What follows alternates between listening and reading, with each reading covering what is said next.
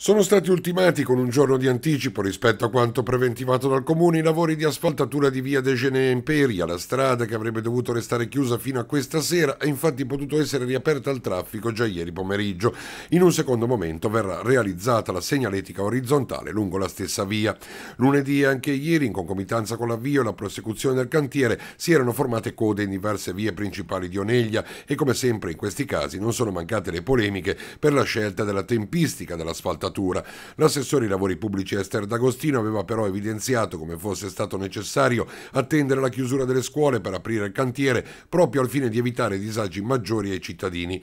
In ogni caso ora la strada è riaperta e i problemi di traffico, se ci sono, sono quelli di sempre. Entro breve dovrebbero partire altri interventi che riguardano la sistemazione di Piazza Dante via Bonfante a Oneglia e di Galleria Gastaldi a Porto Maurizio.